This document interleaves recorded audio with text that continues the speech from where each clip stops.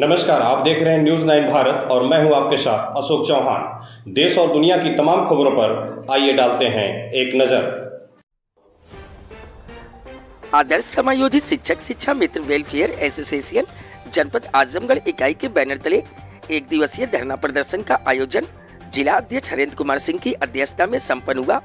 बैठक करने को संबोधित करते हुए जिला मंत्री ओम प्रकाश ने कहा कि केंद्र और राज्य सरकार लगातार शिक्षा मित्रों के हितों की अनदेखी कर रहे हैं। कई वार्ता हुई, लेकिन परिणाम शून्य रहा। विगत वर्ष 2000 से अब तक 23 वर्ष से शिक्षा मित्रों का लगातार संघर्ष होता रहा है। सरकार पिछले चुनावी घोषणा पत्र के वादे को पूरा करे, अन्यथा लड़ाई अब आर पार की होगी। धरने को संबोधित करते हुए जिला मीडिया प्रभारी सूर्य प्रकाश सिंह ने कहा कि सरकार शिक्षा मित्रों और उनके परिवार की दयनीय दशा को देखते हुए अविलंब समान कार्य, समान वेतन व्यवस्था लागू करे। अन्यथा शिक्षा मित्र अब चुप बैठने वाला नहीं है। धरने को संभल प्रदान करते हुए क्रांति उपाध्यक्ष कैलाश यादव ने कहा कि 25 जुलाई 2017 से माननीय सर्वोच्च न्यायालय ने शिक्षा मित्रों का समायोजन अवैध करार देते हुए निरस्त कर दिया। तब से अब तक लगभग 8000 शिक्षा मित्रों का असामयिक निधन हो गया।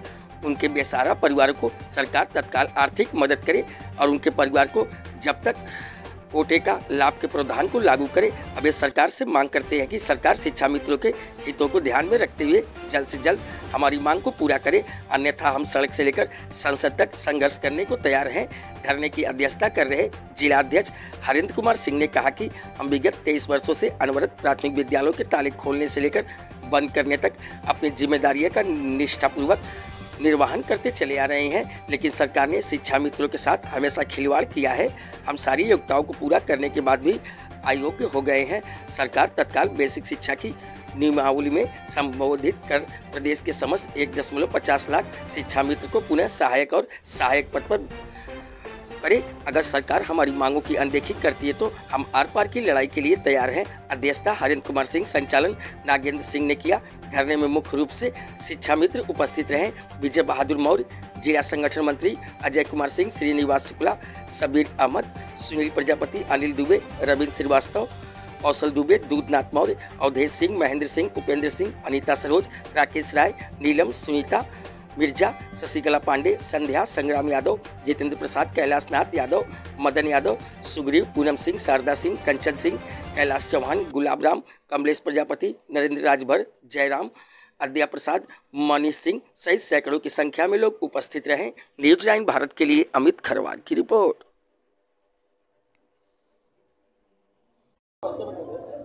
मैं आजमगढ़ ज़िले के मेहनगर ब्लॉक से अनीता शिक्षा मित्र हूँ। आज सर, हम लोग आजमगढ़ के मुख्यालय पर रिक्शा स्टैंड पर आए हुए हैं सभी शिक्षा मित्र। और एक दिवसीय धरना प्रदर्शन के माध्यम से हम यहाँ के आजमगढ़ के ज़िले के डीएम साहब को ज्ञापन देंगे, जो हमारी मांगे हैं उस ज्ञापन पत्र में। ये ज्ञापन पत्र में सर लिखा हुआ है। और इन डीएम साहब के माध्यम से हम उत्तर प्रदेश के सरकार को, भारत के सरकार को हम देना चाहते हैं और हमारी मांगे इसमें जो लिखी गई हैं, सर, हम यहाँ पर, सर, अपने धरना प्रदर्शन के माध्यम से विनय, अनुनय और निवेदन करने आए हैं। बस और कुछ करने नहीं आए हैं। बस हमारे, हम लोगों की मांगों को उचित समझकर वो हम लोग की मांग पूरी करें और आशीर्वाद दें अपना। माननीय मुख्यमंत्री जी, माननीय प्रधानमंत्री जी तो मैं निवेदन करती हूँ। बस यही। हरेंद्र कुमार सिंह जिला अध्यक्ष आजमगढ़। आज ये धरना प्रदर्शन का आयोजन किया गया हम कहना ये चाहेंगे कि पच्चीस जुलाई 2017 को हमारा समायोजन सुप्रीम कोर्ट द्वारा निरस्त हुआ।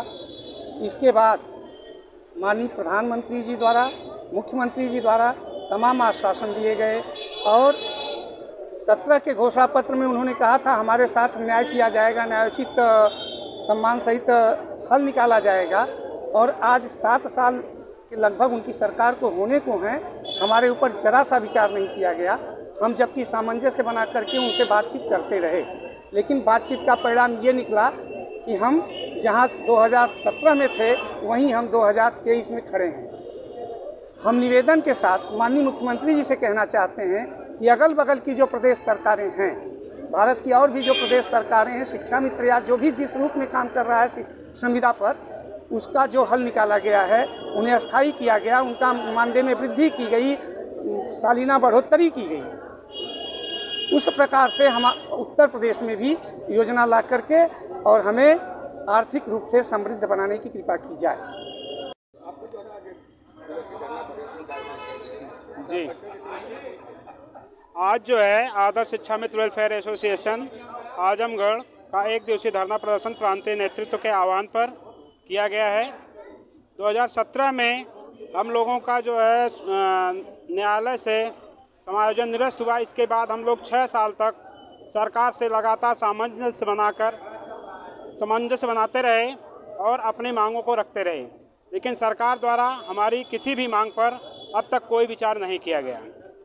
इसलिए आज जो है, एक दिवसीय धरना प्रदर्शन रखा गया है, जिसमें हम आदरणीय जिलाधिकारी महोदय के माध्यम से माननीय मुख्यमंत्री जी को अपनी मांगों से संबंधित ज्ञापन देंगे और यदि एक माह के अंतर्गत हमारी मांगों पर कोई उचित कार्रवाई नहीं की गई तो आगामी नव वर्ष 2024 में हम लखनऊ की सरजमी पर अपना आंदोलन करने के लिए बाध्य होंगे।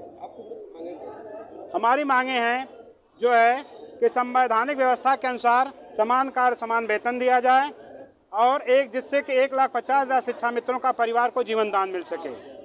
शिक्षा मित्रों को पूर्व की बात, क्योंकि कुछ जिलों में हमारे शिक्षा मित्र अभी दूर दूर पड़े हुए हैं, जो कि दस हज़ार के मानदेय में ड्यूटी करना असंभव है। उनको उनके मूल विद्यालय पर वापस किया जाए और हमारी कुछ महिला शिक्षा मित्र बहनें, जो कि पूर्व में विवाह के पहले अपने मायके में जो है नियुक्त हुई थी और आज भी वह वहीं पे पड़ी हुई हैं। वह न तो अपने परिवार की हो पा रही हैं, न तो अपने मायके वालों की हो पा रही हैं, न तो वह स्वयं अपने बच्चों के भविष्य को ही संवार सजा और संवार पा रही हैं। और इसलिए उनको जो है उनके ससुराल के विद्यालयों में भेजा जाए। और मृतक शिक्षा मित्र लगभग हमारे आठ हज़ार शिक्षा मित्र जो है हृदयाघात से एक्सपायर कर चुके हैं, मर चुके हैं। उनके परिवार को आर्थिक सहयोग व उनको जो है नौकरी दिया जाए।